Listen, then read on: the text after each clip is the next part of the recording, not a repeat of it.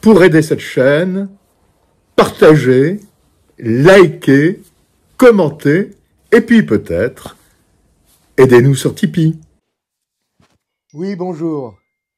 Alors, nous nous offusquons des titres de la presse française sur l'Ukraine. Et oui, la presse française nous indigne. C'est vrai. C'est vrai.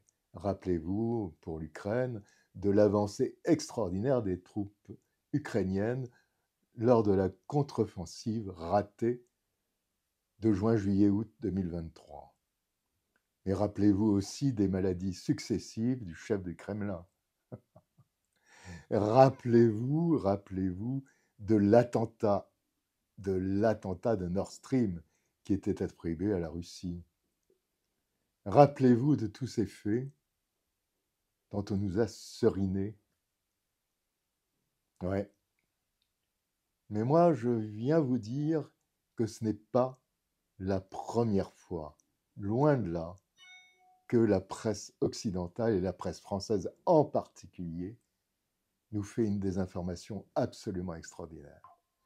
Et alors, nous allons faire un retour de plus de 49 ans en arrière.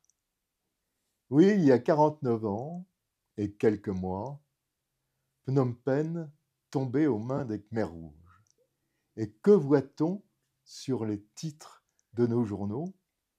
Khmer rouges qui ont déporté des centaines de milliers de personnes de cette capitale.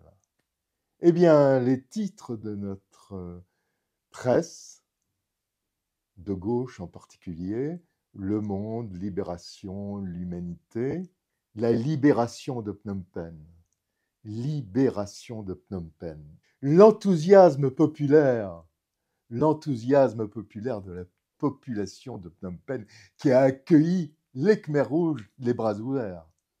Vous vous rendez compte? Vous vous rendez compte? Les Khmers rouges ont commis un génocide de plus d'un million d'hommes. Un million d'hommes en trois ans, quatre ans. Un million d'hommes. Et l'envoyé spécial du monde nous dit cela. Mais c'est incroyable. Libération. Regardez le titre de Libération.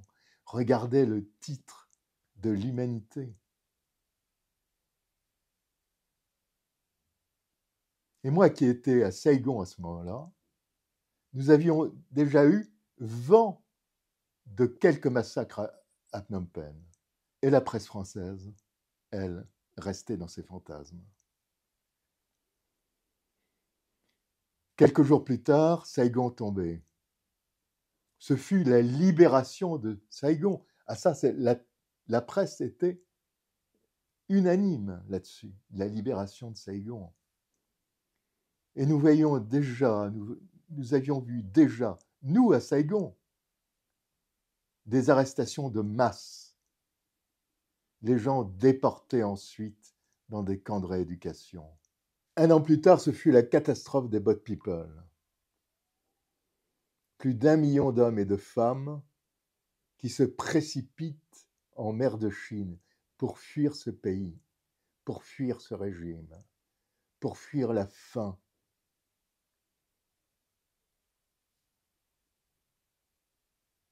Non. Personne n'a rectifié cette fois-ci.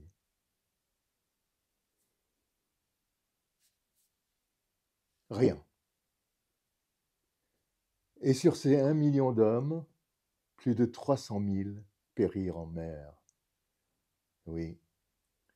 Sur ces un million d'hommes et de femmes, plus de 300 000 périrent en mer.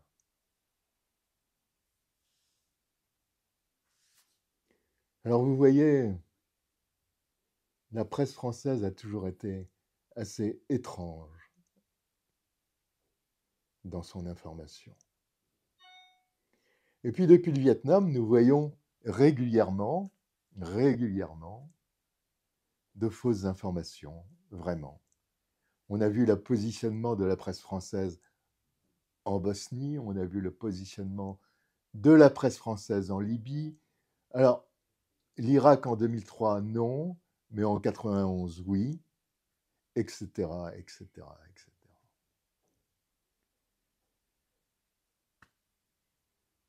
Et ne parlons pas de la Syrie. alors là, alors là, la Syrie, la presse était unanime. Alors voyez-vous, la presse française pour l'Ukraine n'est pas vraiment différente, n'est pas vraiment différente d'il y a 49 ans ou depuis. Voilà, voilà ce que je voulais vous dire. À bientôt sur ma chaîne. Au revoir.